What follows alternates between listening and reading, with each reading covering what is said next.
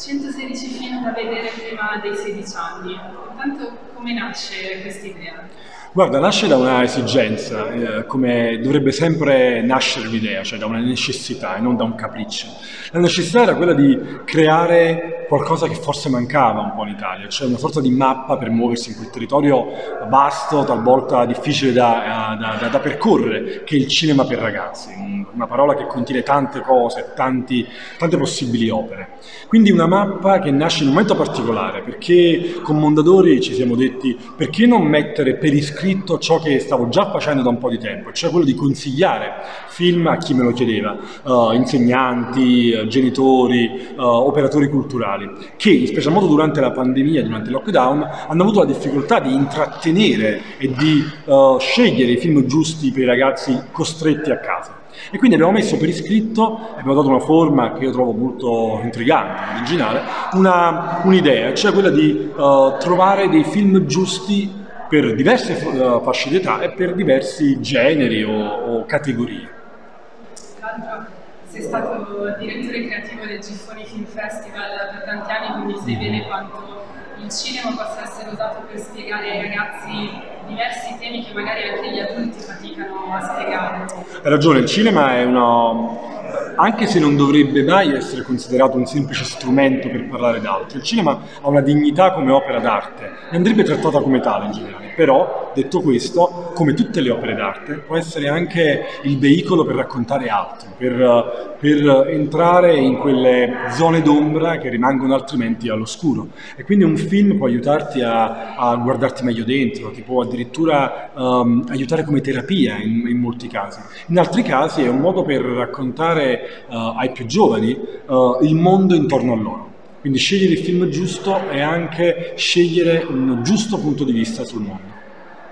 Invece, quali sono stati i criteri per stilare questa lista? Cosa rende un film fondamentale da vedere prima dei 16 anni?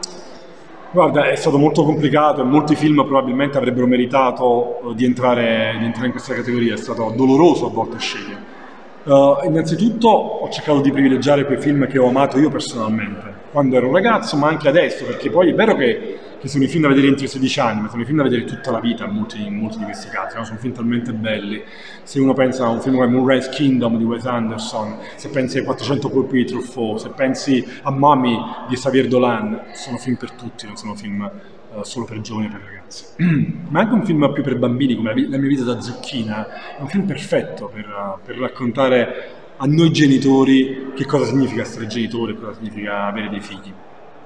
Quindi i criteri eh, sono stati uh, due in particolar modo, quindi come dicevo uno, film che io trovo belli, film che andrebbero visti perché sono delle belle opere d'arte. Secondo, che i protagonisti delle storie fossero ragazzi perché questa è una scelta difficile, perché un film come Ghostbusters, per esempio, è un film perfetto per ragazzi, però dentro non ci sono i ragazzi protagonisti, cioè il punto di vista sul mondo è espresso da adulti, anche se è un film un po' di intrattenimento, simpatico, tutto quello che. E invece un film per ragazzi che ha dentro la storia un ragazzo che porta avanti le sue vicende, in qualche modo crea una maggiore immedesimazione con quello che lo vedrà, c'è un ragazzo, un bambino, una bambina, un giovane. Quindi questo è stato un criterio che mi ha, mi ha spinto. Poi, e poi le categorie, dieci categorie dall'amore alla malattia, alla morte, la guerra, i maestri, i mondi fantastici, sono un altro, un altro elemento che mi ha aiutato, cioè delle scatole in cui posizionare, non in maniera rigida, questi film. Rivolto a diverse fasce d'età. Com'era invece il tuo rapporto col cinema da ragazzo, da adolescente? Eh, questa è una bella domanda. Eh, il, mio, il, cinema mi ha salvato proprio letteralmente. Um, ho vissuto una, da, da dopo, le scuole, dopo, le scuole, medie fondamentalmente, un, un tipo di vita che, che, in cui non mi sentivo a mio agio, come posso dire, no? E quindi ho cercato nel cinema quello che la vita non mi dava. E quindi il cinema è diventato davvero la finestra sul mondo, non viaggiavo, non, non avevo grandi rapporti con le altre persone, proprio perché non mi sentivo a mio agio era una specie di ikikomori della, della preistoria, diciamo così. Uh, quindi mi chiudevo nella mia stanzetta, ma letteralmente mi chiudevo e vedevo film a getto continuo. Quindi il mio rapporto è un rapporto di amore e di gratitudine per chi mi ha raccontato quelle storie. Un film come, come I Goonies o come Stand By Me, film del genere mi hanno aiutato ad affrontare meglio la mia, la mia difficile infanzia. E quando sono cresciuto ho portato con me però questo bagaglio di, di amore che, che, avevo accumulato in quei tempi lì. Ed è continuata, è, dato, è maturata la storia d'amore, ecco, diciamo così, e non si è mai interrotta ed è, non credo che avverrà mai il giorno in cui tradirò questo mio primo grande amore che è il cinema. Una, scelta difficile, ma tra questi 116 che hai selezionato, quali sono? Allora, già ho detto i Goonies e Stand By Me, questi per me sono due classici inamovibili, davvero sono, sono film che, che, sono dei capisaldi, dei classici per me, ma, e non solo per me logicamente. Ma tra questi c'è Murray's Kingdom sicuramente di Wes Anderson, è un film straordinario che racconta l'amore in una maniera nuovissima, quindi metterei anche Wes Anderson proprio tra i miei super preferiti. E poi ne voglio scegliere uno uno che è poco conosciuto, che è poco, poco visto e che invece andrebbe, andrebbe, conosciuto un po' meglio. Perché è Selvaggi in fuga di Taiki Waititi, che è lo stesso regista di Jojo Rabbit. È un film che pochissimi conoscono, ma Selvaggi in fuga è un film straordinario, dove c'è il puro intrattenimento, dove tutto è super divertente, veloce, movimentato, dove però esci fuori dal film e dici, ah, ho visto un grande film spesso a contatto con i ragazzi, con le scuole, spesso parliamo di quanto sia importante uh, far vedere ai ragazzi il, il cinema, il film certo. per, per acculturarsi. A questo mi affianco, mi rifaccio all'appello che ha fatto Francesco Favino e Davide Donatello, quanto sia importante anche per i ragazzi fare cinema, creare loro dei film. Favino, Favino che è un genio, come attore ma anche come essere umano, eh, grandissima intelligenza, ha detto quello che pochi minuti fa ho cercato di dire nella mia presentazione del libro qui a Carbonia, e cioè che più che far vedere i film, che comunque è importante, più che, uh, più che semplicemente somministrare delle belle opere, è importante che i ragazzi facciano film, perché non c'è modo migliore per conoscere il cinema che facendolo.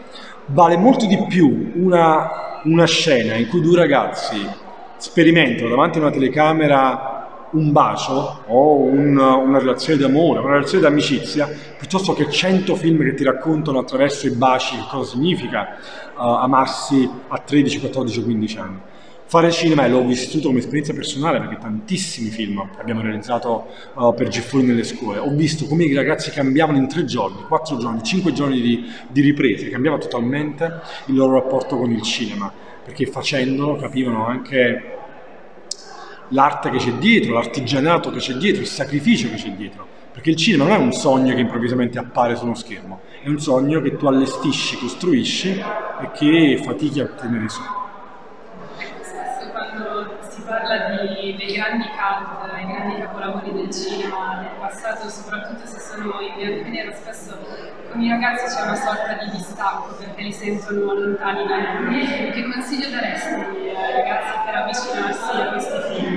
Di avvicinarsi lentamente, di non uh, cominciare proprio da quei film lì che possono spaventare, perché come linguaggio uh, rappresentano una, una, una dimensione a cui non sono abituati, quindi possono spaventare come dico sempre, i classici non sono un punto di inizio, ma un punto di arrivo. E poi ci vuole qualcuno che li accompagni nella visione, che racconta perché quei film erano in bianco e nero e in che modo il bianco e nero può essere più espressivo e addirittura più vivace di tanti film a colori.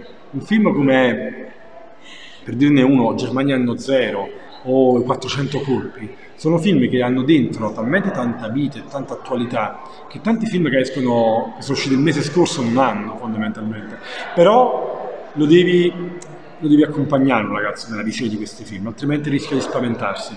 E se si spaventa rischia di non avvicinarsi mai più a queste grandi opere.